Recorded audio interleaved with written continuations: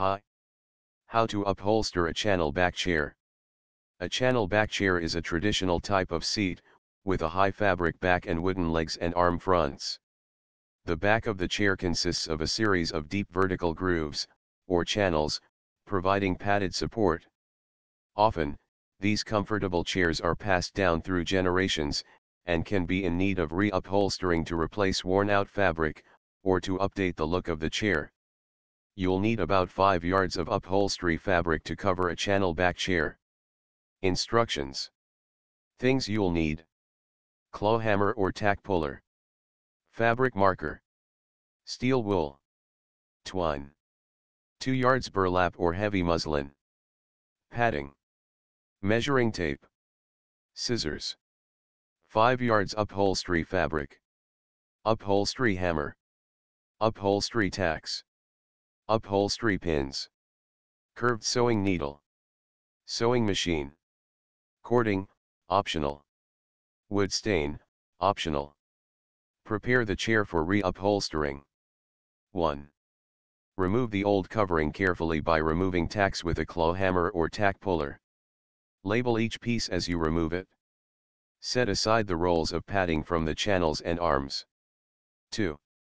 Clean and repair the frame as needed, such as refinishing any exposed wood. Clean the springs, using steel wool to remove any rust. 3. Tie the seat springs to one another diagonally with twine. Cover the seat with a piece of burlap or heavy muslin. Measure and cut to fit, allowing 1 inch extra on each side. Turn under the seam allowance and tack into place, starting at the center front and back. Space upholstery tacks 1 inch apart.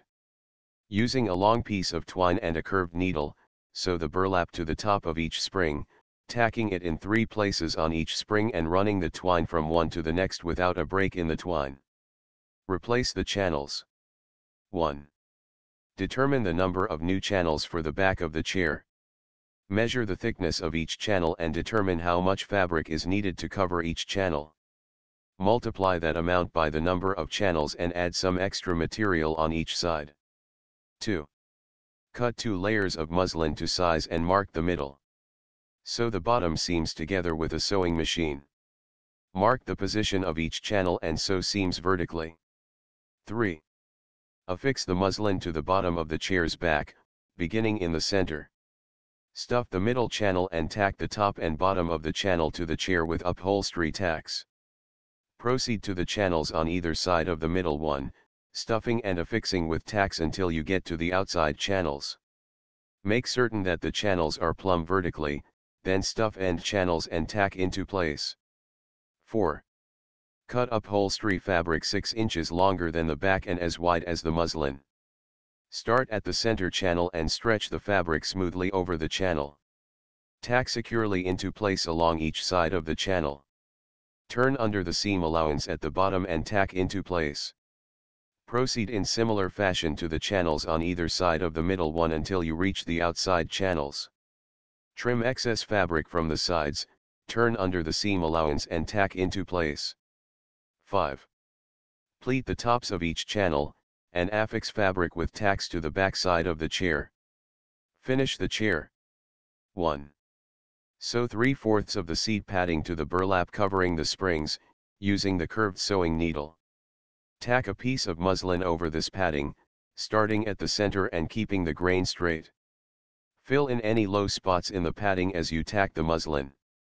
Turn under a 1 inch seam allowance on each side and tack into place, mitering the corners for a smooth fit. 2. Tack burlap onto the arms of the chair and sew padding onto it. Cover with muslin, and tack into place beginning at the bottom center. Trim the muslin, leaving a 1 inch seam allowance, and smooth over the padding. Tack into place. 3. Using the old arm pieces as a guide, cut the new fabric and tack into place in the same manner as the muslin was affixed. Use upholstery pins to keep the fabric in position until firmly affixed. If you are using cording, sew that to the piece before putting it on the chair. Place the cording on the wrong side of the fabric, raw edges meeting. Baste the cording onto the piece, then affix to the chair. 4. Cover the back of the chair last. Allow a 3-8 inch seam allowance on all sides. Attach to the back of the chair with upholstery tacks, starting at the bottom center, folding under the seam allowance as you go. 5. Turn the chair over and place a piece of burlap on the underside of the chair. Affix in place with upholstery tacks. Resources. Read this article in UK English. Thanks for watching. Goodbye.